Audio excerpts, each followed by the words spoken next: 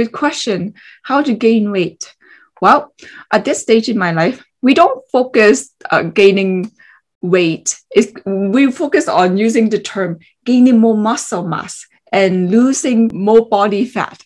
So instead of gaining weight, we call let's see how much muscle we have gained because all we care is about gaining muscle. At this stage, the way um, the bodybuilder look is more in terms of how much muscle they have and how low the body fat is. For you to gain muscle, you need to eat. You need to eat nutrient for your muscles to grow. So it will be more uh, protein. And then you also need to work out to break the muscle fiber so they can go back bigger. Now you have more muscles in your body and less body fat. So the weight should come from the muscles. So gain more muscle and in turn gain more weight. So eat more protein and sleep more and get rid of alcohol. Oh, alcohol doesn't go along with muscle building and also doesn't help you in the gym because um, alcohol really is not good for your liver, and not good um, for your body's um, hydration.